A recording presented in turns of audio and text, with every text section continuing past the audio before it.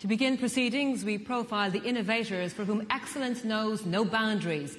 They have the vision to see the future and the passion to make it happen. With the first of our four finalists, the fires of entrepreneurship burn brightly.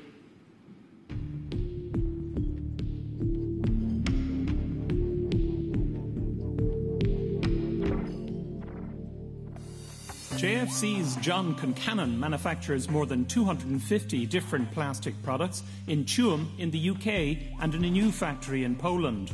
Among their unique designs is a construction pipe made entirely from recycled plastic. Everybody hears about the good days. There's plenty of bad days and nobody hears about them. I've had plenty of challenges, plenty of low days, and I don't go looking for them. They'll find me. When they find me, I'll deal with them on the day.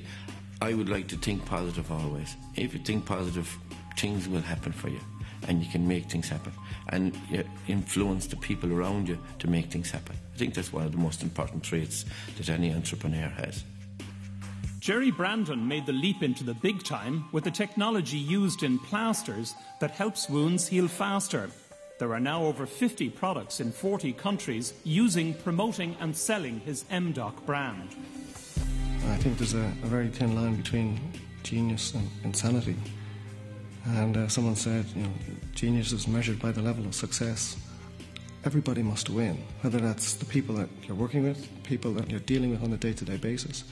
And essentially, your customer has to feel that they're winning as well. So I would like everybody to draw. Kevin Neville's electronic signs provide real time information to millions of commuters from New York to Hong Kong. Based in Ennistymon, County Clare, Data Display is also the largest supplier of cinema systems throughout the world. I would say that I'm probably results based and maybe bossy in certain ways and that I like to set goals. However, I do listen and I think I'm probably getting better at listening. Well, I've been very lucky in my life. I've worked with some super people in business. I suppose if I have a philosophy, it's, you know, you need luck, but I find the harder you work, the better your luck becomes. Gerard Keenan's mixer wagons are exported all over the world.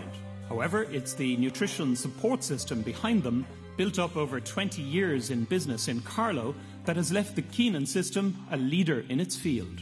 Money is a byproduct, it's not the objective. It's achievement, it's doing justice to the opportunity, it's carving out your own little piece of the world and having a lot of people with you who want to do the same thing. I suppose everybody that's here wants to uh, be a winner. So look at. Uh, I certainly won't turn down the award if, if it's if it's made.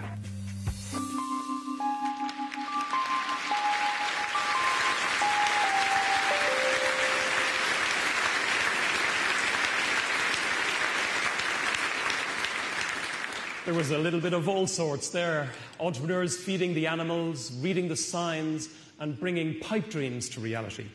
With more tales from outside the comfort zone, let's meet the remaining four international finalists. They include a pair of accommodating individuals, a competition crusher, a man who'll see right through you, and Ireland's answer to J.R. Ewing.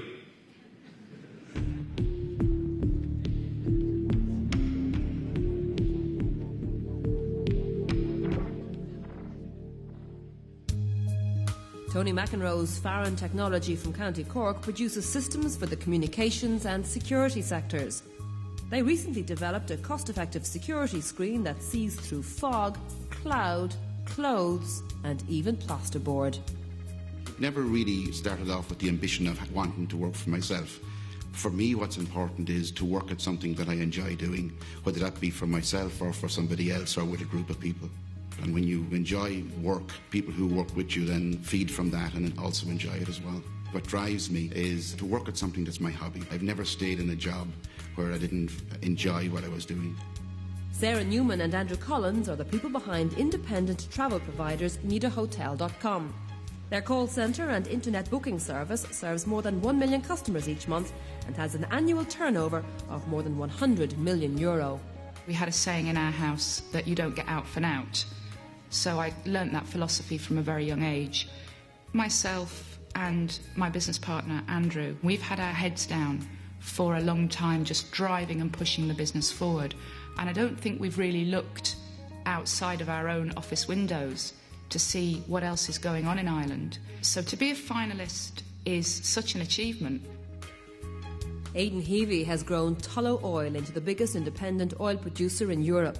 They control the North Sea gas fields and dominate West African exploration, producing 60,000 barrels of oil a day. Entrepreneurs, I actually believe that they're born. They're an unusual animal. I think it's something that actually suits the Irish mentality. Like the Irish uh, generally don't conform. Look at some of the big companies around the world. They're all Irish guys, you know, doing businesses that you wouldn't even dream about. So the confidence is there now. And, you know, when you go around the world, you see people are not surprised anymore to find Irish companies at the top of the tree. Since acquiring the company in 2001, Hubert Watson has built Fintec into a 30 million euro global business. The County Tyrone company designs and manufactures crushers and screens for the construction industry worldwide. An entrepreneur is not someone unique. I don't think it's somebody special. I think it comes from the heart, and really that has to be pride, passion, and strong leadership. Well, I think everybody would like to win the competition. Uh, yes, it's taking the part is important, but if we were all honest, I'm sure we'd all like to win. But let the best person win, and whatever happens, let's enjoy it along the way.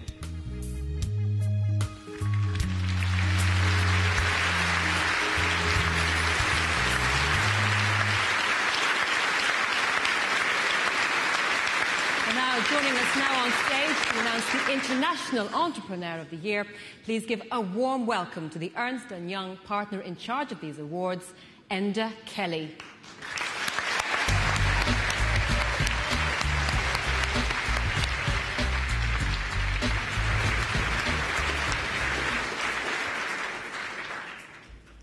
Uh, for bringing an Irish vision to the furthest reaches of the world. The 2005 Ernst & Young International Entrepreneur of the Year is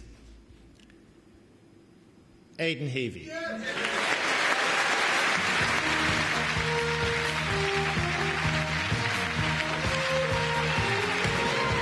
From a country with no tradition whatsoever in oil production, Aidan Heavey has scaled Tullow Oil into a company which is now worth over 2.5 billion euro. By partnering with emerging economies and recovering their natural resources, Aidan Heavey's sense of ambition has fueled a phenomenal success story.